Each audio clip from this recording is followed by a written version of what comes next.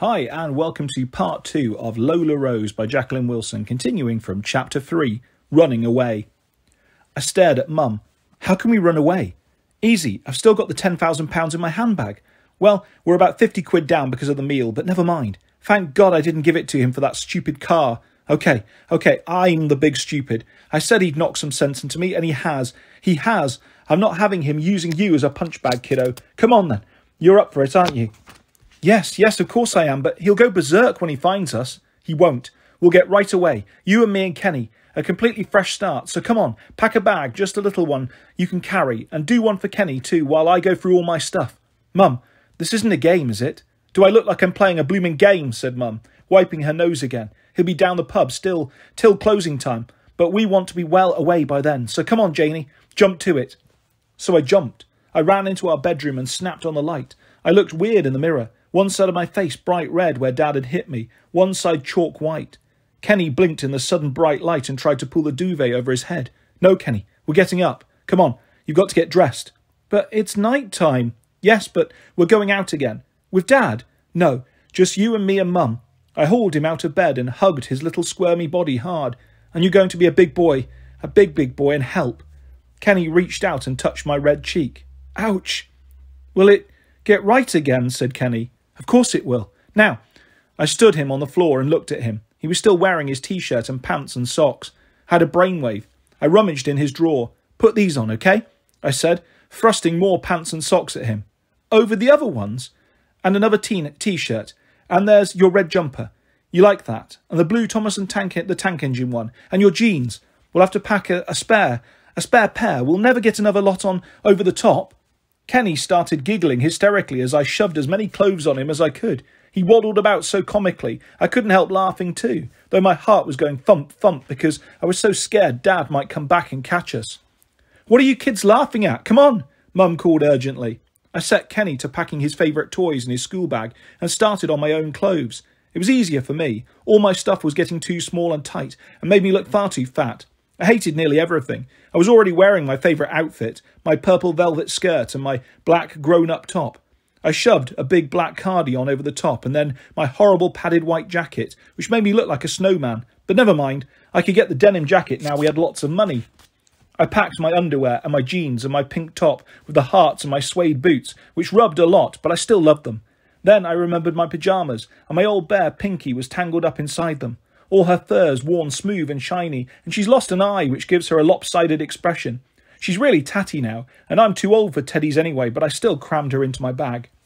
Kenny was making even sillier choices, shoving a yo-yo without any string and broken crayons and a jigsaw set with half the pieces missing into his school bag, but forgetting his new wax crayons and little Bob, the blue bear he's had since he was born.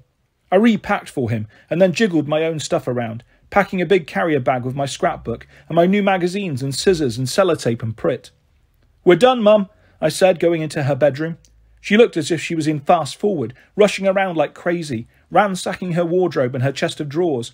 Her nose still wouldn't stop bleeding. It made a garish trail past her lips, down her chin, dripping onto her blue top. Your best blue top, Mum. It'll wash out. It'll, well, I'll leave it on, though it looks a mess. Should I just dump it? Mum stood still, suddenly freeze-framed.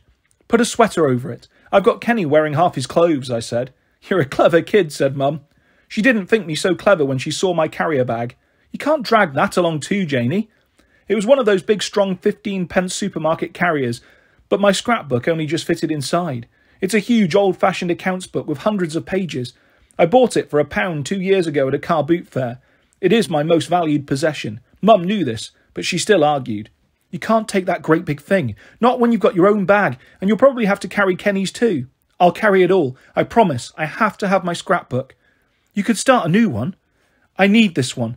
It's got all my best ever pictures. I have to take it, Mum. Oh, for God's sake, do as you're told, Mum shouted, and then she stopped, her hand over her mouth. We heard footsteps walking along the balcony towards our flat.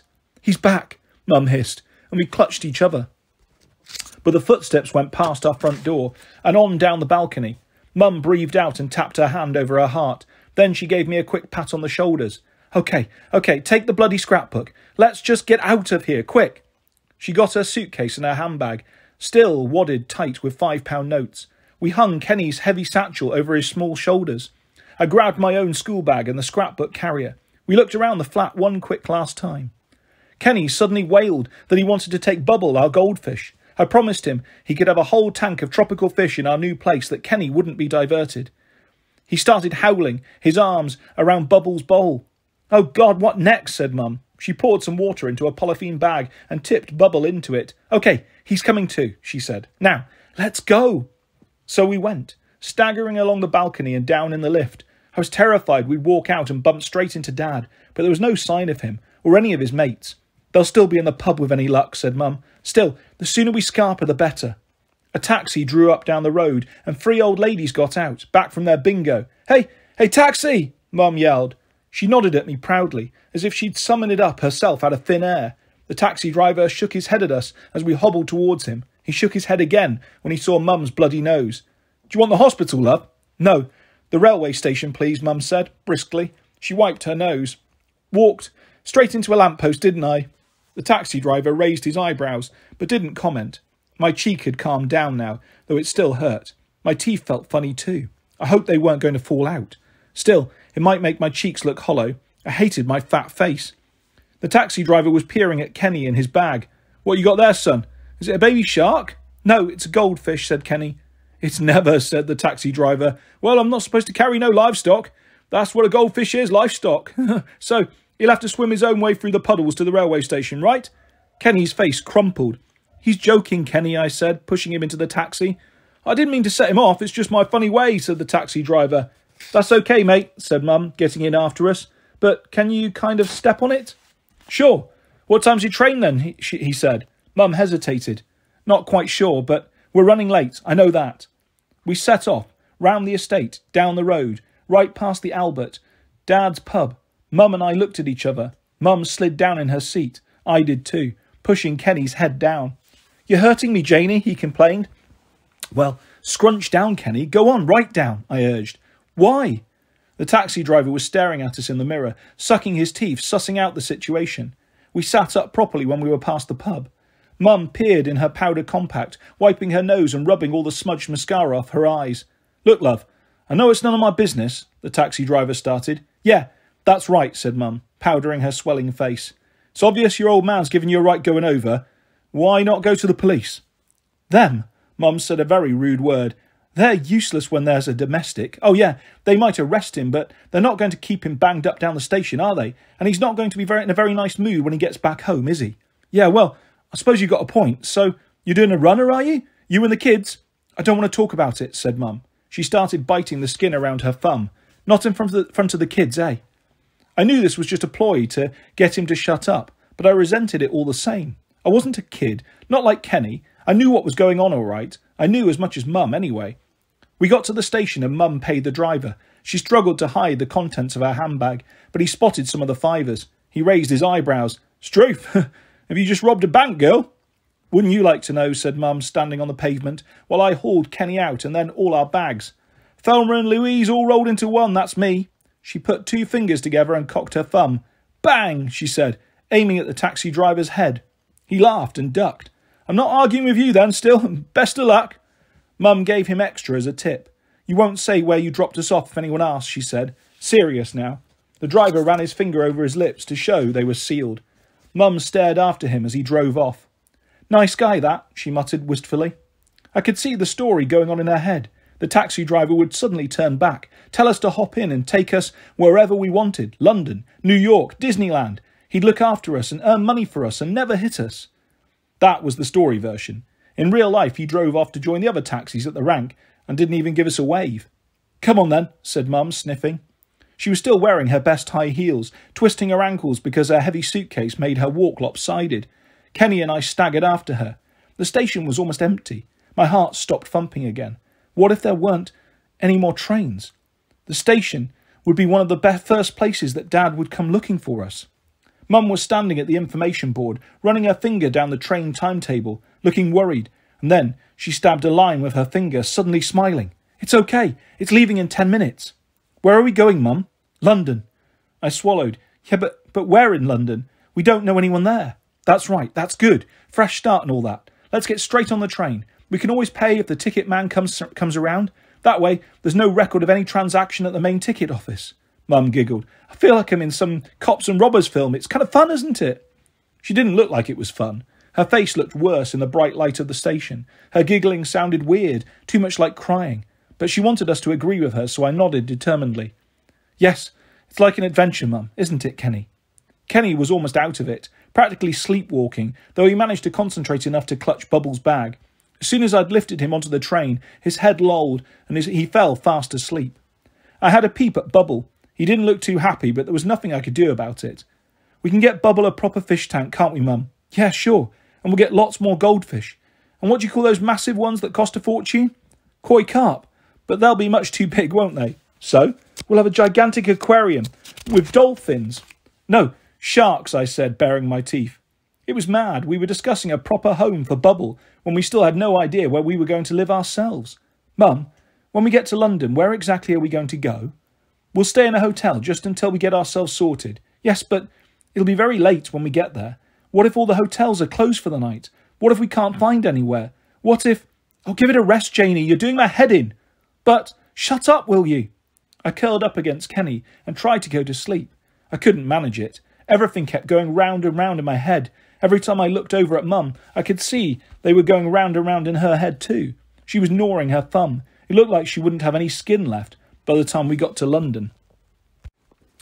Chapter 4 New Names It was easy after all. When we got to the station, the upper crust food store was still open. Mum bought us all a sandwich and asked the woman serving us if she knew if there were any hotels nearby. She drew us a little map on a paper napkin. It turned out there was a whole street of hotels only five minutes away. Though they look a bit seedy, said Mum, when we got there. We're in the money now. We could stay at the blooming Ritz if we wanted. But Kenny was so out of it, Mum had to carry him on her hip, lugging her case as best she could. It was obvious we couldn't go any further. The first hotel said they were full. No one came to the door of the second hotel, though the hall light was on, and we rang and rang. I started to panic then, thinking we were going to stagger around half the hotels in London. Mum said brightly, Third time lucky. And it was. A man came to the door and said he had a double room for the night, £45 to be paid now, and a fiver each if we wanted a continental breakfast. Mum handed over the money and then signed the register. She's got very big, sprawly handwriting. She swirls every loop and puts little hearts instead of dots over her eyes. But she made her writing little and squiggly in his greasy register, so it was very hard to read. It didn't look anything like Mum's name, Nicky Fenton. Still, the hotel man didn't seem bothered. He didn't even give Mum's sore face a second glance. Her nose was all crusty now. She dabbed at it self consciously and started some spiel about falling flat on her face because of her silly high heels, but the man didn't seem to be listening. It was like he'd heard it all before a hundred times over. He just handed Mum the keys, pointed up the stairs, and went back to watching Channel 5 in his office. Charming, Mum muttered. Well, we won't be stopping here for long. We hauled Kenny and our bags up three narrow flights of stairs and found our room down a dingy corridor. It had hardly any furniture, just a double bed with cigarette burns on the duvet, a wardrobe with only one hanger and a wash basin with a sliver of soap, and just one towel. Mum sniffed contemptuously. She gingerly pulled back the duvet, but the sheets were reassuringly white and smelt freshly laundered. Come on, then. Let's get into bed, she said. You get Kenny out of all them clothes while I go and find the toilet. Mum came back with her nose wrinkled. It's not very nice, she said. Watch Kenny when you take him, Janie. Don't let him touch anything. Kenny was half asleep, so he did as he was told, dopily. I found it hard to go myself, not daring to sit on the filthy seat. I just sort of hung in mid-air, hoping for the best. I distracted myself reading all the rude messages scribbled on the wall. When we got back, Mum was already in bed, her mohair cardi on over her black nightie. Come on, kids, it's freezing in here. We jumped in with her. It was like sliding into snow, but Mum put her arms right tight around us, and we all huddled up. It gradually got cosier. We heard some people arguing along the corridor, but Mum pulled the covers right up over our heads so we were in our own cave where no one could get us. I fell asleep eventually, but woke with a start in the middle of the night. I'd been dreaming of Dad. He was chasing after me. I woke up with my heart pounding as if I'd really been running. I reached out for Mum, but she wasn't there. I could only feel Kenny huddled into a little ball, breathing heavily. I sat up, panicking. It was dark in the poky little bedroom, but I could just make out a shape over by the window. Mum? I slipped out of bed and pattered across the worn carpet. What you doing, Mum? I put my hand on her arm. She was shivering in spite of her mohair cardigan. Shh, love. Don't wake Kenny. It's okay. He's dead to the world, Mum. Can't you sleep? Nope. And I've run out of fags, which is a bit of a bummer. I was wondering about going out to look, you know, looking for a machine somewhere. Don't, Mum. Okay. I wasn't very thrilled about the idea myself. Oh, Janie, what the hell are we doing here? Maybe I went a little bit nuts. Your dad wouldn't really start on you. He thinks the world of you, darling. He thinks the world of you too, Mum, but he hits you. Why does he? Search me. I just seem to set him off. I'm, I'm pretty useless, really. Not much cop as a wife or a mum. She started to cry. You're a lovely mum, I said. I put my arms around her. You're not useless at all. You're lucky. You're the only person who's ever won the lottery round our way. Lady Luck, Mum sniffed. That's what I signed in the register downstairs. L. Luck, just in case your dad came snooping. Maybe it's not such a good idea to be so close to the station. This could be the first place he'll look if he comes after us. We'll leave right after breakfast, okay? Is that going to be your new name then, Mum? Lady Luck? Well, Lady sounds a bit daft, doesn't it? I could be Nicky Luck now, though. Or maybe I'll change my first name too. I'll be Victoria. I always like posh best of all the Spice Girls. Victoria Luck. Yeah, sounds great, doesn't it? Should we change our names too? Kenny and me? Yes, I think you'd better. What do you want to be then, darling? I thought of all the women in my scrapbook Britney and Charlotte and Kate and Kylie, but that didn't work because I wasn't remotely like any of them. I'd edged each picture with lots of cut out presents for each woman flowers and glasses of champagne and boxes of chocolates and bottles of perfume. One of the pictures had the model's name, Lola Rose. I tried the name out inside my head, and I liked it. I'll be Lola Rose.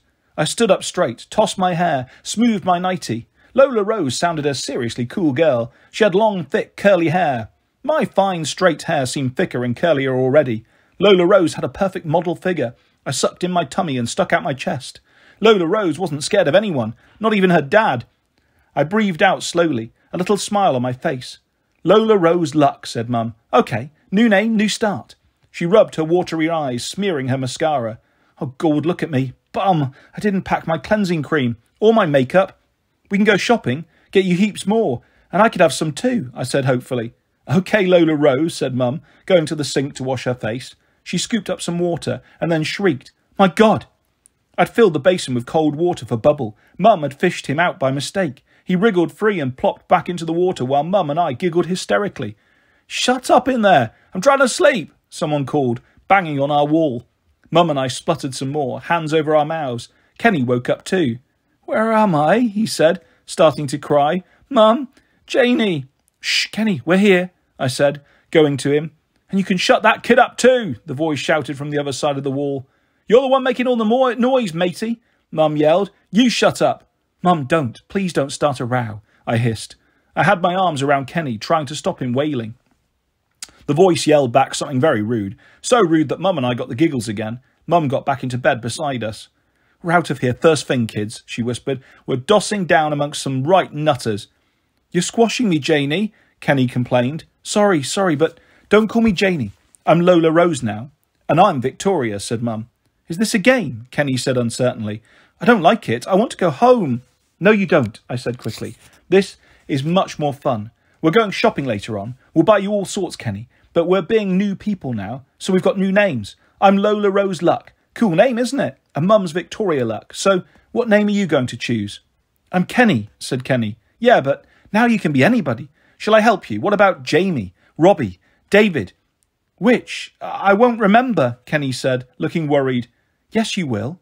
How about something like your own name so it doesn't sound too diffi- difficult or different? Lenny? Benny? Could I be Kendall? said Kenny. Kendal Mintcake, Mum spluttered. I felt Kenny stiffen, humiliated. I think Kendall's a cool name, I said. Yeah, right. It's totally cool. Victoria Luck has two cool kids, Kendall and Lola Rose, said Mum, snuggling down between us. Shall we all try and have a little kip now? She cuddled us close. Kenny, Kendall, was quiet. I thought he'd gone to sleep, but then he piped up again. What's Dad going to be called? I waited for Mum to answer. She didn't. Maybe she was asleep. Dad isn't part of our family now, Kendall, I whispered. Why not? Kendall sounded astonished. I couldn't see how he could be so thick. You know why, I hissed. Because Dad's horrible and keeps hitting Mum. He hit me too. It still hurts whenever I move my jaw. He doesn't hit me, said Kendall. Don't you feel sorry he hits Mum? But she deserves it, said Kendall. I took hold of his bony little shoulders, threw his t-shirt and shook him hard. How dare you say such a wicked, stupid thing? But she does deserve it. Dad says so, Kendall said, starting to whimper. Don't, Janie. You're hurting. I'm not Janie anymore. I'm Lola, Lola Rose, and you're not to say another word about Dad or I'll, I'll get really cross. We hate Dad. No, we don't, Kendall mumbled. We love him. I turned my back on him. I elbowed him away when he tried to cuddle up. I hated him, even though he was right. I hated Dad. He really scared me silly, but I still loved him. I thought of him wandering round our flat all by himself, calling our names, looking in every room, pulling down bed covers, peering in wardrobes. He'd get mad later, fighting mad, but he'd be so hurt too. He'd cry. Our dad was the toughest man on the estate, but I'd often seen him cry. He always cried after he'd hit Mum. He'd hold her hands and tell her he was sorry, tears trickling down his cheeks. He'd kiss all her bruises, and he'd go down on his knees and beg her to forgive him. And she did. It wasn't just Mum. Dad has a way of getting around anyone. When Kenny had a temper tantrum, flat on his back, drumming his heels and yelling fit to burst, Dad would pick him up, laughing.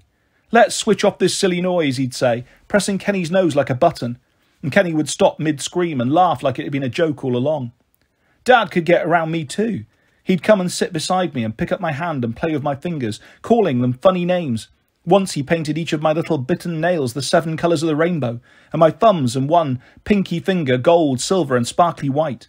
He bought me this little pack of rainbow beads and threaded them onto my plaits while he fed me rainbow dotted chocolate buttons. On my last birthday, he gave me a great silver box tied with rainbow ribbon. There were layers of tissue inside, so I knew it was a dress. I guessed it would be a rainbow dress, and I felt anxious because I'm too big for that kind of party frock. It was beautiful, with smocking on the front and rainbow stripes, little puff sleeves, and a big flouncy skirt. It was the sort of dress I'd have died for when I was about five. It looked awful on me now. It was much too tight, too bright, too babyish. But I had to smile and hold out my skirts and prance around as if I was, as if I was thrilled to bits. Had to wear it to the school disco. All the other kids laughed at me. No one wanted to dance with me, so I danced by myself, leaping around wildly, pretending to be having fun. I leapt a little too wildly and split my seams. Mum tried to sew them up for me, but the material was ripped and frayed. We hid the dress at the back of the wardrobe so Dad wouldn't see. I thought about him finding it now. I felt as if I was splitting apart, just like my dress. Chapter 5 Seeing the Sights. We checked out of that hotel straight after our continental breakfast. Though what's continental about cornflakes and toast and watered down orange juice, said Mum. What a rip off. Let's splash out and stay somewhere decent. We chose a big new hotel overlooking the River Thames. Dead classy, said Mum. Don't you let me down, kids. We were given a big bedroom with a huge bed with a pink silky cover that matched the ruffled curtains. And pinky batches too, I said. But when I tucked her under the covers, she looked horribly grey and grubby. We had our own bathroom and a television and a phone and a fridge. Look, we can have lots of drinks, and there's peanuts and chocolates. Wow, said Kendall, rifling through them. Hang on, I don't think they're free, are they, Mum? I said, grabbing his wrists. Yeah, but we're in the money, babe. Let him help himself. Kendall drank a can of Coke and nibbled peanuts while Mum and I had a bath together. There were dinky little bottles of shampoo and bath foam, so we had the bath brimming with bubbles. We felt just like film stars. You come and jump in too, Kenny. Uh, Kendall, Mum called. We could hear him mumbling away to himself or to someone else. Kendall, I clambered out of the bath, wrapped one of the wonderful big fluffy towels right round me and padded into the bedroom. Kendall was leaning against the dressing table, chatting into the phone. Yes, Dad, it's great in London, he said. I froze. Kenny? He looked startled, then turned his back on me. Only Janie keeps nagging at me, Dad, and I have to sleep in a big bed with her and Mum, and I want my own bed because I'm a big boy, aren't I? he gabbled. Then I grabbed the phone, wrenching it out of his hand so fiercely I bent his fingers back. Ow! Kenny screamed. He tried to hit me with his hand and hurt his fingers more. You told Dad where we are, I said. Then I heard the dialing tone on the phone. Kenny hadn't really been talking to Dad. He'd just been pretending. Unless Dad had put the phone down his end. Were you really talking to Dad, Kenny? Yes, and he said you're very mean to me and he's going to come and get you, see? Kenny shrieked. And anyway, I'm not Kenny anymore. I'm Kendall. For God's sake, Mum called from the bathroom. Stop yelling, both of you. They'll be banging on the walls here. But he was trying to phone Dad. Don't be so daft. He doesn't know how to. He doesn't even know the number properly. I do, I do, I know our number. It's one, two, three, four, sixteen, ten, twenty. See? said Kenny. I did see. I picked him up and gave him a hug, saying I was really sorry I'd hurt his poor hand. Mum got out of her bath, all pink and pretty in spite of the new bruises and her sore nose. I dunked Kendall in the water and blew bubbles with him until he cheered up. Now, let's get out on the razzle, said Mum. We started off with a second breakfast, pancakes and maple syrup and ice cream. I ate all mine and half of Kendall's, and then ran my fingers around and round the plate to get every scrap of maple syrup. Your manners, Lola Rose, said Mum. Then she stuck out her finger and did exactly the same. I picked my plate up to lick it. Uh, uh, you're going to uh, going a bit too far now, said Mum. Come on then. Big great big treat time. We're going on the London Eye. Big treat, big treat, big treat, Kendall sang over and over again until it became meaningless gabble. He whooped with excitement when we pointed out the huge wheel with its glass pods. We watched it revolving very, very slowly. Big treat, big treat, big treat, Kendall gabbled all the time we queued. Everyone smiled at first and said, bless him, but eventually you could see it was getting on their nerves. It was getting on our nerves too. But there's no way you can shut him up when he starts. He big treated right until the moment we went to step into the glass pod, and then he screamed, Kenny, what's up? said Mum. Kendall, I hissed. Come on, it's okay. Step on quick. No, Kenny roared. It's too scary. I had to pick him up and lug him on, carrying him over my shoulder. He kicked and screamed, his square toed shoes kicking me in the tummy. Cut it out, Kendall. It's lovely, not a bit scary. We'll fall. No, we won't. We're in our glass pod. We're going right up high, just like we're flying. Look. Kendall wouldn't look. He stopped screaming, but he stuck his head right inside my jacket and clung tightly. I wanted to get up off my seat and have a proper look, but he moaned whenever I moved. You're a wimp, Kendall, said Mum. Here, Lola Rose. I'll take him for a bit. Thanks, Victoria, I said. It felt as if we were actors because we hadn't quite got used to using our new names. I loved being called Lola Rose. I unhooked Kendall, parking him with Mum. I stood with my face pressed against the glass. It wasn't quite scary enough for me. I wanted to whiz around and around with all London blurring. I wished our glass pod would fly off by itself, whirling us further and further away from Dad. It felt so much safer up here in the bright blue sky. I didn't like it when we were back on the ground again. I kept thinking about Dad, looking over my shoulder. Don't act so twitchy, Lola Rose. It's getting on my nerves, said Mum. Where are we going now? said Kendall. Mum didn't reply. I looked at her. She didn't know. Let's go shopping, I said. We couldn't see any shops, just river and walkways and big buildings. Where are the shops, Mum? Well, kind of over there, said Mum, gesturing vaguely across the river. I suppose we'd better get up on the bridge. So, what are you after, Lola Rose? That denim jacket with fur? And shall we get you your little leather jacket, Kendall? Kendall didn't react. He was breathing deeply, still a bit snuffly after all that screaming. He was staring up at the building beside us. Kendall, have you forgotten that's your name? I hissed. I know, he said, not looking at me. He was staring at the sign on the building. That's the fish word. Aquarium. Yeah, you're right, my lovely, said Mum. Clever little lad. Imagine a little boy like you knowing a big word, word like aquarium. Can we buy some fish to be Bubbles' friends? Yes, we could maybe buy a new goldfish and some food in a proper bowl, I said. Bubble hadn't looked too clever this morning. We'd cleared the bath of Bubbles and left him swimming in his big, big pool, but Bubbles seemed very tired. Had a feeling he wasn't going to last much longer. It would be great if Kendall could be distracted with a whole new fishy family. But when we went in, we saw it wasn't the kind of aquarium where you buy fish. It was like a big fish zoo. You just look at these fish, Kendall. You can't buy them. Come on, let's go. I want to look, said Kendall.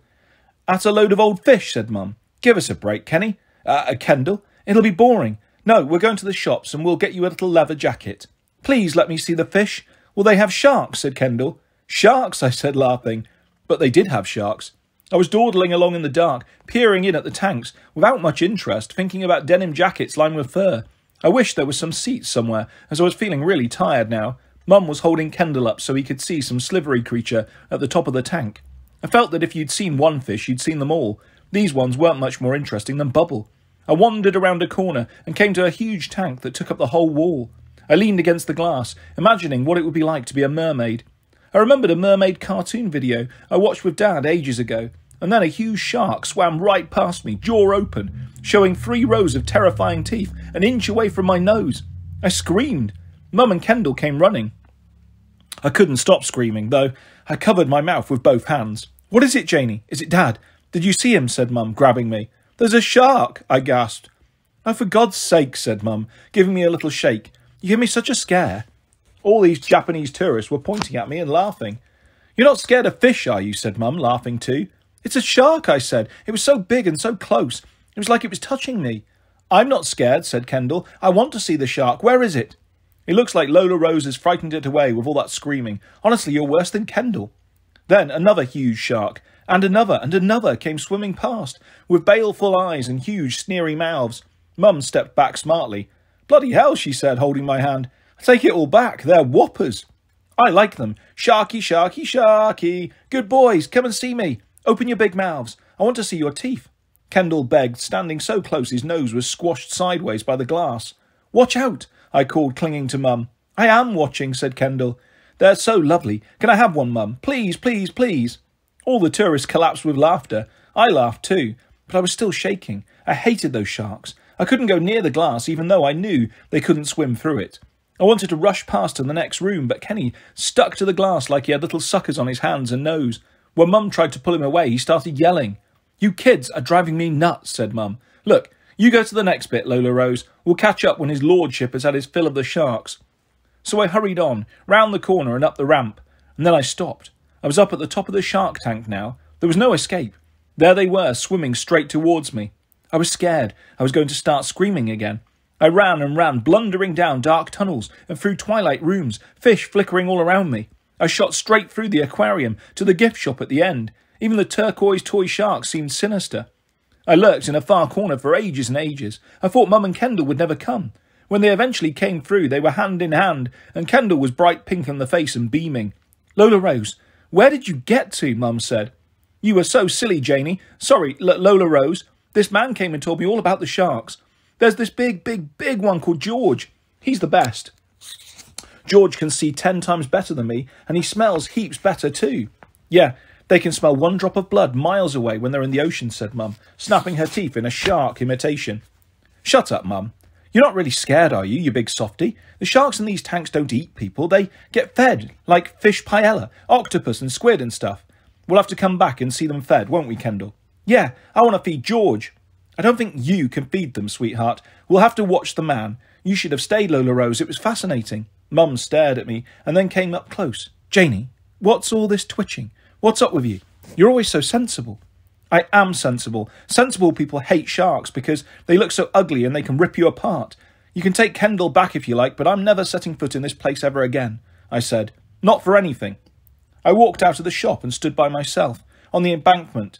I stared at the river. I knew perfectly well there were no sharks in the Thames, but I kept expecting a deadly dorsal fin to streak through the water. When Mum and Kendall came out at last, Kendall was clutching a big fluffy tur- turquoise toy shark. Look, look, I've got my very own George, he cried, racing up to me. Attack! he yelled, whirling George by the tail and then bashing me in the face with him. It didn't hurt. I knew George was a fluffy toy and his teeth were made of felt, but I still screamed. Oh, do stop it, Janie. You're just acting soft to get my attention, Mum snapped. I was so hurt, I went into a sulk. I wouldn't talk to either of them as we crossed the bridge over the river and walked around Covent Garden. Then Mum stopped outside this immensely posh French cake and coffee shop. Let's live dangerously, she said, and went inside. Had to talk to say which cake I wanted. It took me ages to choose because they were all so ultra yummy and special. I eventually decided on a cream mousse gâteau with strawberries and a swirl of chocolate icing on top. Mum had an elegant almond croissant. Kendall chose a chestnut cream meringue, but he licked it half heartedly and didn't finish it. So I did. And I had a hot chocolate to die for, all whippy, with a big peak of cream. Mum laughed at me. You've cheered up now, haven't you, Lola Rose? You bet, I said. Then we got startled on some started on some serious shopping. We found this posh kid shop, and there was this perfect little black leather jacket that fitted Kendall perfectly. He looked so cute in it. Even the shop assistant clapped her hands and called him a pet. It cost a fortune. But I've got a fortune, said Mum, and she handed over a fistful of notes as if they were pennies. We looked at the girls' jackets too. They had a denim jacket with fur, and my heart started beating fast. But when I tried it on, it was much too small. I could hardly get my arms in, and I wouldn't meet. It wouldn't meet across my front. I'm too fat, I said, feeling awful. Don't be so daft. You're just getting a big girl, too big for little kids' clothes. You will find you a proper furry denim jacket. Just you wait and see, said Mum. We went into the shop. Well, shop after shop after shop. Kendall stopped playing swim through the air games with George and started whining. But then in the thirteenth shop, my lucky number, we found a whole row of ladies' denim jackets lined with fake fur. Cream fur, blue fur, pink fur. I tried the pink furry one on, trembling. It fitted perfectly. Well, it was a little too long in the arms, but Mum rolled the sleeves up for me, saying it was the only cool way to wear such jackets anyway. Mum bought it for me, and I went out of the shop wearing it. It felt as if I was being cuddled by the softest teddy bear. I looked great in it, I really did. I kept peering at myself in shop windows. A new cool blue denim, pink, furry collared Lola Rose stared back, stared back, smiling all over her face. Mum was quite tempted by the denim jackets too, but then she spotted a white leather jacket, short and sexy. When she tried it on, she looked so glamorous, just like a rock star, especially with her dark glasses. We sashayed out of the shop, Lola Rose in her fairy blue denim, Victoria in her rock star white leather, two absolute babes, with a baby, our Kendall, whining for England, dragging George Shark by the tail. We decided to buy him one of his favourite red lollies to shut him up. They'd proved very good dummies in the past, we could see any number of posh places selling Haagen-Dazs and Ben and Jerry's, but there weren't any ordinary little corner shops with cheapo ice lollies. Perhaps there's one down a side street, said Mum. We found a little newsagent eventually. He didn't stock Kendall's strawberry shockers, but Mum bought him a fistful of other flavours orange, mango, blackcurrant, milk. There, kiddo, suck on that little lot and shut up, said Mum. She bought me a white magnum.